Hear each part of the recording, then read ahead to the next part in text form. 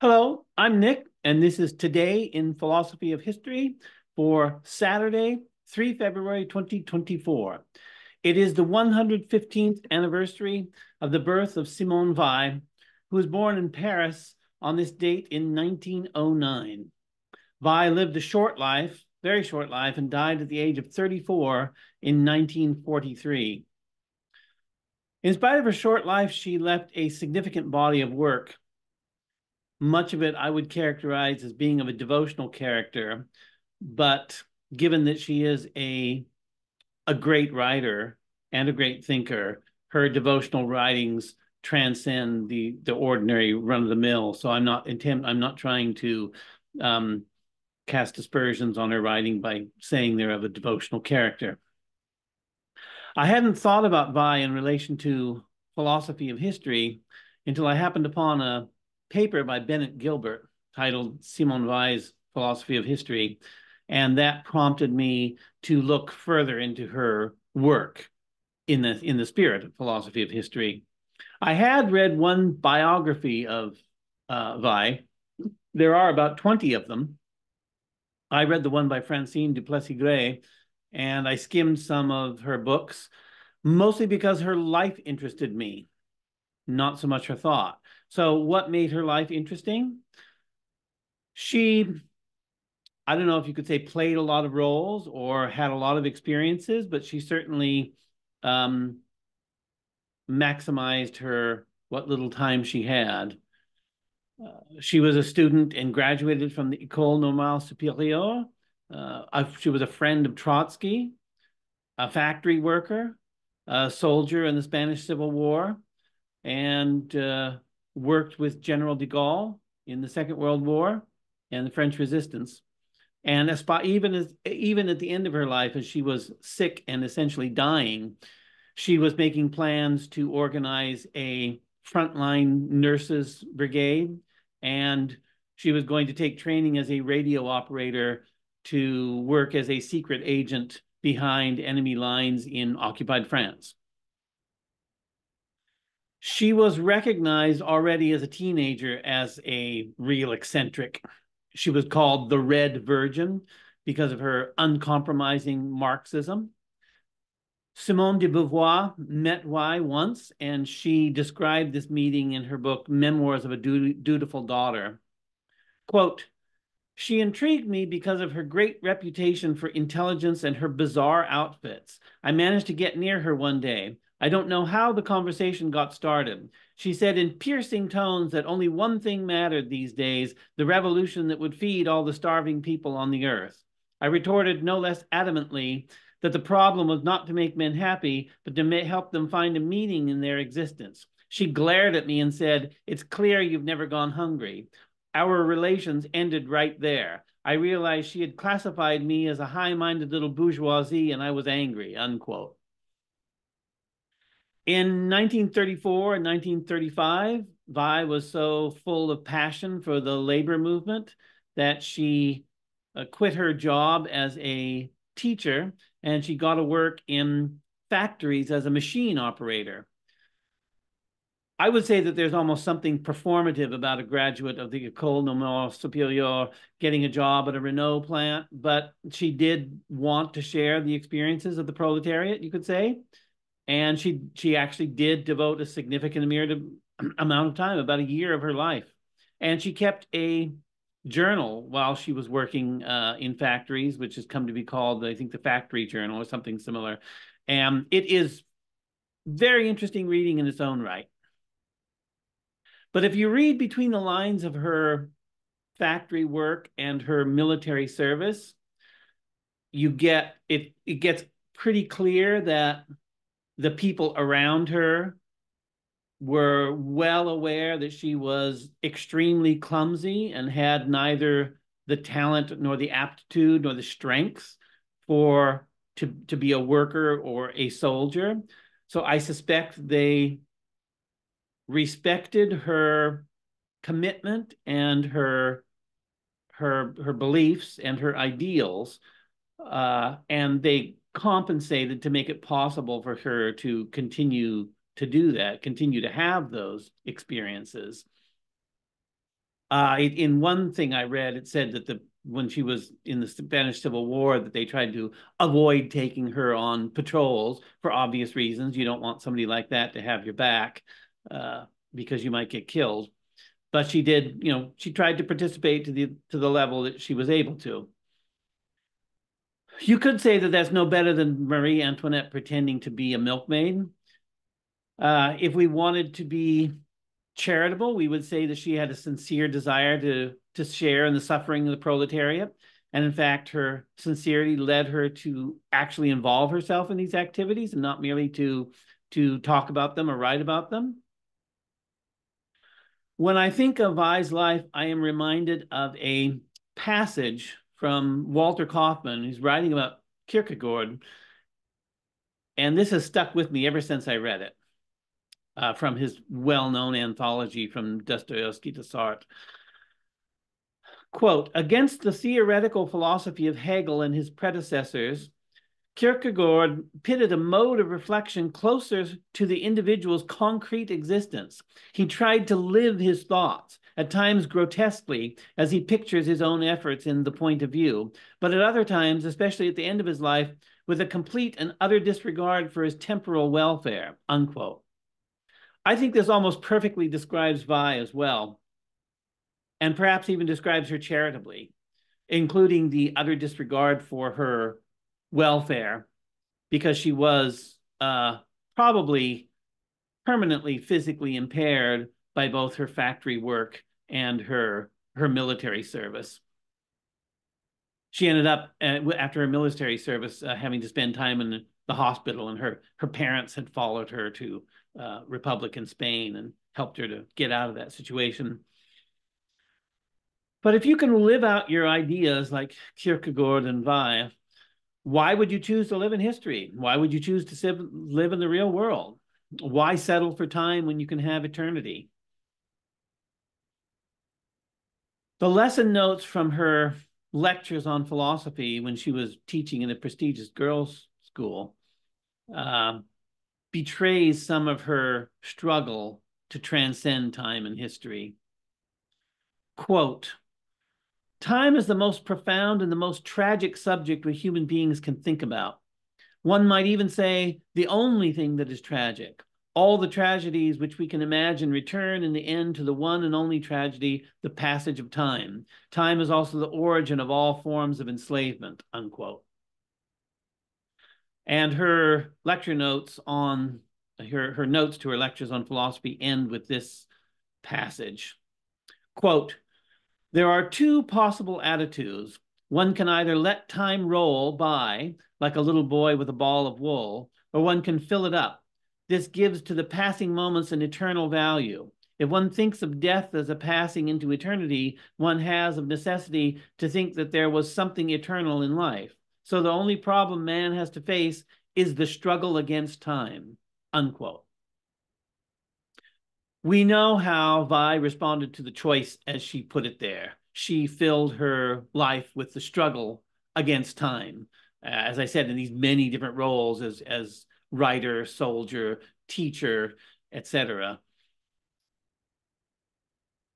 And again, you could give a charitable or an uncharitable account of this. You could call it a form of escapism, or you could call it a form of idealism. Where do we draw the line between the two, if there is any line at all to draw? Time is a form of bondage to the bondage to the world, and therefore it's a kind of bondage to history. Weil makes a distinction between escape from time and submission to time. Quote, all sins are an attempt to escape from time. Virtue is to submit to time, to press it to the heart until the heart breaks. Then one is in the eternal, unquote. Eternity and the eternal are almost every page of her notebooks. You might even say that eternity is omnipresent in her work. And she often contrasts, of course, eternity to time, which in her work has a demonic character quote, sanctity is the only way out from time. In this world, we live in a mixture of time and eternity. Hell would be pure time, unquote. So what I get from that is that sanctity is presumably the way out of time through submission. One does not escape time. And one could say in the same spirit that we must submit to history, just as we must submit to time, not escape from history. And Weil does offer an edifying account of submission that is consistent with the idealism that one finds throughout her work. Quote, consent and not fear of punishment or hope of reward constitutes, in fact, the mainspring of obedience, so that submission may never be mistaken for servility. It should also be realized that those who committed, those who command, obey in their turn, and the whole hierarchy should have its face set in the direction of a goal whose importance and even grandeur can be felt by all from the highest to the lowest, unquote. What is the goal? It seems clear to me that the goal is the eternal order that transcends history. And according to Weil, we do not, or we ought not, endure history with our teeth, teeth clenched. We must submit to history without servility, always with our eye on eternity. But can we do this, given what Mircea Eliade called the terror of history? which Weil um, acknowledged in her own way, in a way you could call the atrocity of history. Quote, monotony is the most beautiful or the most atrocious thing. The most beautiful if it is a reflection of eternity, the most atrocious if it is the sign of an unvarying perpetuity. It is time surpassed or time sterilized. The circle is the symbol of monotony, which is beautiful, the swinging of a pendulum of monotony, which is atrocious, unquote. So I said that eternity appears everywhere in her notebooks. It's a, it's a touchstone for her. But I also mentioned earlier her factory journal. And I find it very interesting that in her factory journal, she uses eternal in a completely colloquial and offhand way that is, I think, illustrative of, of, of the problem here. Quote, going back to work infinitely more painful than I would have thought. The day seems an eternity to me. Here, heat, headaches, those C4 by 16 screws disgust me. It's one of those cushy jobs. I would have to do it quickly, but I can't. Barely finished, I think, by 3.30. Prostration, bitterness at stupefying work, disgust, fear also all the time of the clutter coming of the cutter coming loose. Nevertheless, it happens. The wait to have the cutters changed. And for the first time, I succeeded in changing a cutter myself with no help at all. And Philippe says that it's right in the middle. A victory better than speed. I also learn after another bad experience to adjust the tightness of the screw and handle at the end myself. Lucien sometimes completely forgets to tighten it. Unquote everyone who has worked for a living will recognize these kind of conditions of labor, even if all the particulars are different.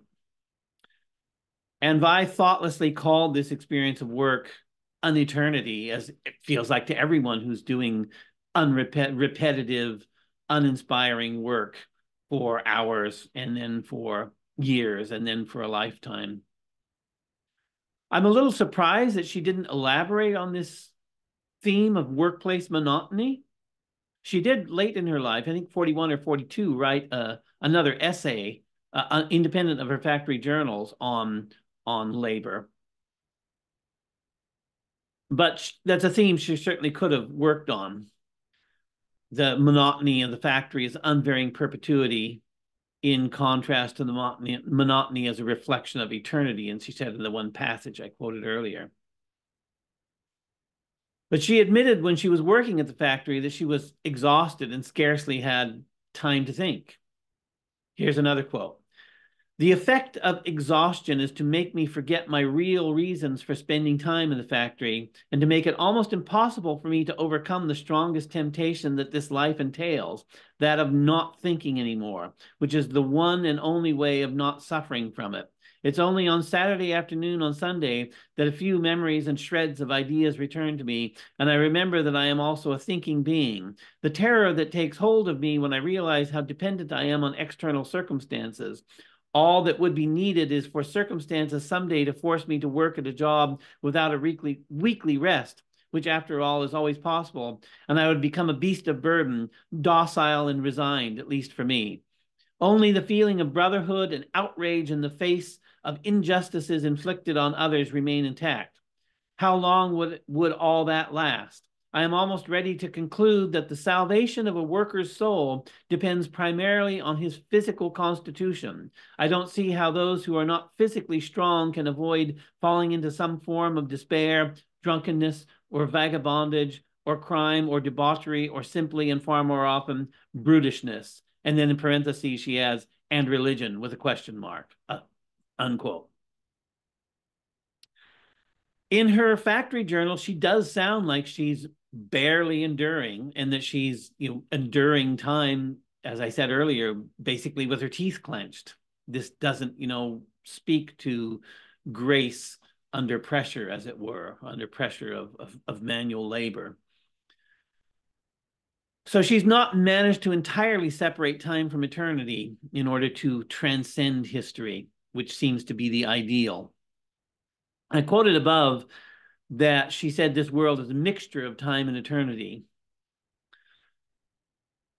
But in spite of the exhaustion she experienced in her work life, she recognized something redeeming within labor. Quote, the spiritual function of physical labor is a contemplation of things, the contemplation of nature. Passing over to the eternal is, for the soul, an operation analogous to that by which, in perception, we refrain from putting ourselves at the center of space, although perspective makes us seem to be there. And here again, it is the very condition for perception, the condition for seeing the real, unquote. This is a Copernican reflection. It's a decentering of the, the individual. And the in, in decentering oneself in favor of the eternal, the eternal order that should be at the center. And this perspective of the eternal is the condition for seeing what is real. We could call this a spiritual Copernicanism. And her spiritual Copernicanism explains in part her criticism of conventional providential philosophy of history, which is the only tradition in philosophy history that I can find that she engaged with. So in her The Need for Roots, which was one of the last things she wrote before she died, she wrote, quote, the good which is given to man to observe in the universe is finite, limited, to endure, to endeavor to discern therein evidence of divine action is to turn God himself into a finite, a limited good. It is a blasphemy. All providential interpretations of history are unavoidably situated on exactly the same level. It is the case with Bossuet's conception of history. It is at the same time appalling and stupid, equally revolting for the intelligence as for the heart. One has to be more than ordinarily sensitive to the resonance of words to be able to regard this courtier prelate as a great mind, unquote. So Weil goes on for several pages in a similar vein, criticizes criticizing what she takes to be the shallow and misguided conception of divine providence found in Bossuet and most people who have advocated a providential conception of history. She also explicates her own conception, which is again um, coherent with her ideals and, and beautifully expressed. Quote, divine providence is not a disturbing influence, an anomaly in the ordering of the world. It is itself the order of the world, or rather, it is the regulating principle of this universe. It is eternal wisdom, unique, spread across the whole universe in a sovereign network of relations, unquote. So, if in passing into eternity we remove ourselves from the center, it is the divine providence in splendid isolation from the human condition that takes the proper place at the center, what I earlier called the divine order or the, the eternal order, rather. And we need to be able, we need to be spiritually prepared to be able to see this reality rather than to see the world in terms of the accidental circumstances which define the bulk of our lives and defines them because they are in accord with you know what what what our interests are and what our wishes are and what our fears are. So there is a sense in which Simone Weil's implicit philosophy of history is a providential philosophy of history, despite her criticism of Bossuet's providentialism. We could call Weil an internal critic of providentialism, who offers us a providentialist philosophy of history with a difference. But she still has more in common with other providential philosophies of history than with any other philosophy of philosophies of history. As I said above, um, it, this is the only tradition with which she she engages, and it is the tradition with which philosophy of history begins with Augustine's City of God. Weil has been called a Christian Platonist, specifically in the book The Christian Platonism of Simone Weil by Jane Doering and Eric Springsted.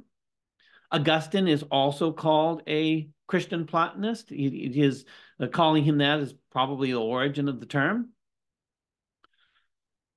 Not only was Augustine the first in the Western tradition to write a philosophy of history, he was also one of the very few philosophers of history to also write a philosophy of time. Book 11 of the Confessions is a detailed discussion of time. And there is an enormous literature on time and eternity in Augustine. I think it would be a worthwhile project to explicate Weil's sense of time and eternity in light of all the work that has been done on Augustine's sense of time and eternity, because so much work has been done there, and so little work has been done on the technical side of Weil's thought. I mean, since she is an expiring writer and her ideals come through so vividly, many people read Weil for inspiration. And like I said, there's something like 20, almost 20 biographies of her have been written. So she's an inspiring figure, but she also has um, an intellectual side to offer us that could be further developed. But I will save that for another time. So happy birthday, Simone Weil, and thanks for listening.